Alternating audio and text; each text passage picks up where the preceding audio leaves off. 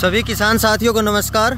आज मैं आपको दिखाता हूँ, ये हम रैपर से बाद गेहूँ की लावनी कर रहे हैं। रैपर से गेहूँ की कटाई करते हैं और फिर लेबर हमारी पुलिया बांधती है। बिल्कुल अच्छे तरीके से लावनी आए हुए हैं गेहूँ। और ये हमारे पास ट्रैक्टर है स्वराज आठ सौ पचपन, दो हज़ार अठारह मॉडल। और इसके साथ है मोग गवाली रैपर। हम 2011 से रैपर से ट्रैक्टर को चला रहे गेहूँ की कटाई कर रहे हैं। पहले हमारे पास नॉर्मल वाली मशीन थी कंपनी का नाम तो ध्यान नहीं है अब। हम पिछले पाँच साल से मोगा वाली रैपर लेके आए थे। अभी इसको पाँचवीं साल है अब की बार। और ये इसकी कटाई की सफ़ाई है। ये देखिए आप। कितने नीचे से गेहूँ को काट देती है। और ऐसी सफ़ाई आ रही है बिल्कुल। पूरे खेत में और आगे तक दिखाता हूँ। और ये लान देखो किस तरीके से है। बिल्कुल अच्छा सीधा हुआ लान, कोई बिखरा हुआ नहीं है। अभी तो ये देखो कटाई करती हुई आ रही है। आपके सामने है बिल्कुल। अच्छी सफ़ाई करती है प्रॉपर थोड़े बहुत जो तिरछे गेहूँ हो गए, हवा से झुक गए, उनको भी सही तरीके से कटाई करके अच्छे से इसमें डाल देती है। ज़्यादा गिरे हुए गेहूँ हैं, उनमें थोड़ा बहुत दिक्कत आता है कि वो अड़चे हुए गिर जाते हैं। बाकी कटाई सफ़ाई से उनकी भी होती है। ये देखो आप बिल्कुल लाड़ कोई बाल तिरछी नहीं पड़ रही, सीधा लान पड़ता है बिल्कुल। जिसको बांधने में कोई प्रॉब्लम नहीं आती। अच्छे से बंधाई हो जाती है। ना खेत में लान भी करता। ये रैपर है मोगा वाली भारत की। ये स्वराज आठ सौ पचपन ट्रैक्टर के साथ है।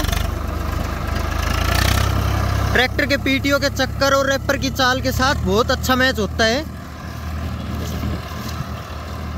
बिल्कुल, और मैं अभी आपको लान दिखाता हूँ, कैसे गिरा हुआ है नीचे। ये देखिए आप, ऐसे लान करेंगे तो।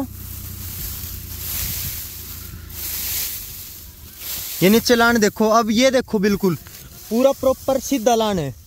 कोई आडी बाकी कुछ भी नहीं है इसके अंदर, ये देखो। अच्छे से, ऐसे थोड़ा सा समेटा, और ये पूरी पूली बन गई। अब इसको ऐसे कैसे बाँध देंगे। तो कोई भी, लान भी बखेरती नहीं है अच्छा काम करती है। वो लेबर लग रही है हमारी पूली बांधने की।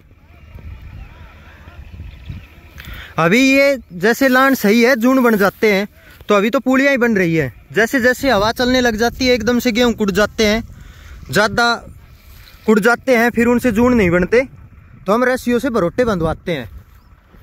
वो उसमें भी बहुत अच्छा काम है, अगर बिखरा हुआ लान होगा तो भरोटे बांधने में, जैसे पूली बांधने में भी, उठाने में भी लान बिखरता है। अगर अच्छा लान गिरा हुआ है रैपर की अच्छी कटाई है तो बिल्कुल नहीं बिखरता। बाँध भरो अच्छे से और उसमें भरोटे में टेक दो। ऐसे ही पूड़ी में बाँध भरो, नीचे जून लगा के, जबकि जब बाँध दो। सफ़ाई भी होगी और काम भी अच्छा होगा स्पीड से भी होगा।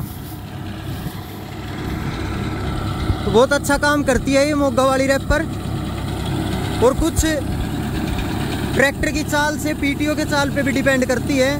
और ड्राइवर पे चलाने वाले पे भी डिपेंड करती है कौन से गैर में चला रहा है, कितनी स्पीड पे चला रहा है। ये एक्सपीरियंस भी मैटर करता है।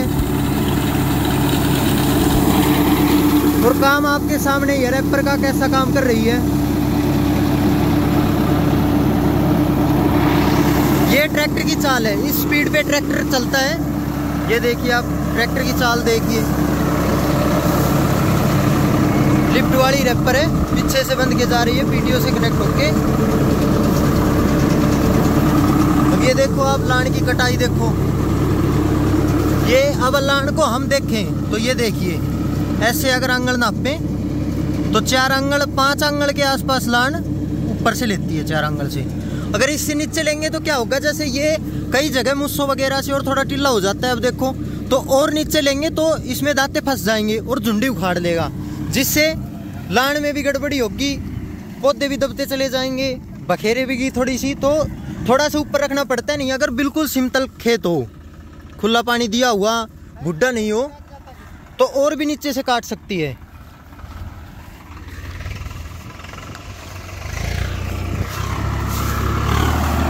अब ये थोड़ा सा बालू रेत ज़्यादा है, हमारे टिब्बे हैं। ऊँचा नीचा रहता है तो उस वजह से और नीचे नहीं चला सकते। फिर उसमें पतियों में भी रेत गल के ब्लेड भी टूटने का खतरा होता है। पर ये मिनिमम लेवल है। लगभग शायद ही कोई रैप पर इतना नीचे काम करती होगी।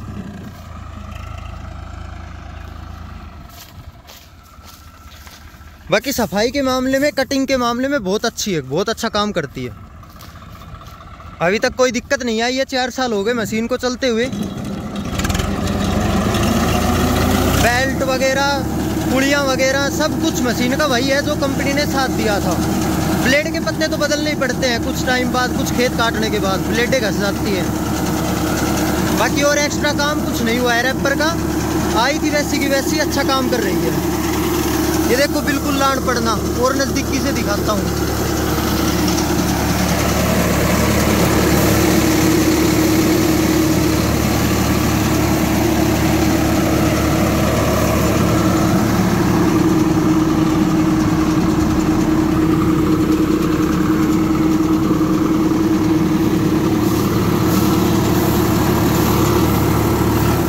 ट्रैक्टर अब पहले गायर के हाई में चल रहा है और 12 की रेस है।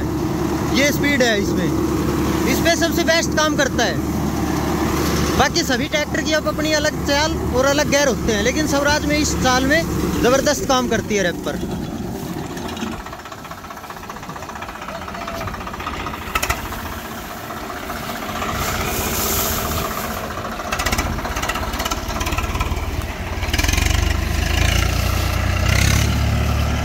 और ये जो गेहूँ है, जो आपके सामने अभी कटिंग हो रही है, ये गेहूँ हमने छिड़क के उगाए हुए थे। ये देखिए आप, आपको खूड नज़र नहीं आएँगे कि भाई जैसे खूड में बुए हैं, देखो। इसके अंदर गेंदे थे। गेंदे को हमने रोटोवेटर से बवाई किया दोबर उसके बाद हमने इसके अंदर ज़मीन उपचार किया, जैसे सरसों की खड़ी, चुना और थोड़ा सा फर्टिलाइज़र वगैरह और कुछ एन के बायो एन के इसमें मिला के और उसको छिड़का। फिर एक बार हरू की भवाई करके उसके अंदर गेहूँ का छिड़काव किया।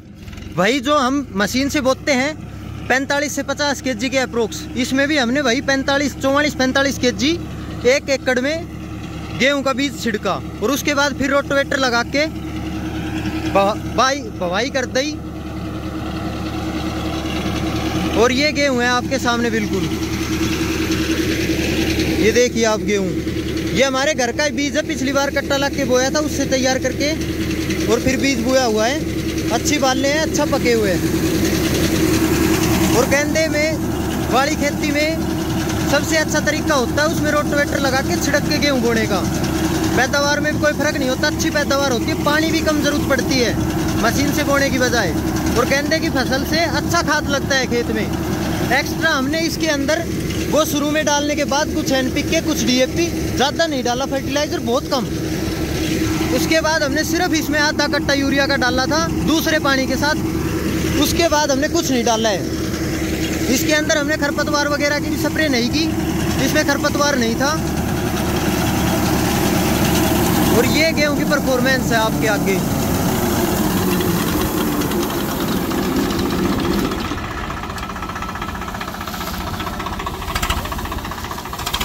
सभी किसान साथियों को धन्यवाद। वीडियो अच्छी लगी हो तो लाइक करें, शेयर करें और चैनल को सब्सक्राइब ज़रूर करें। ऐसी और जानकारी के लिए अब हमारे चैनल से जुड़े रहें।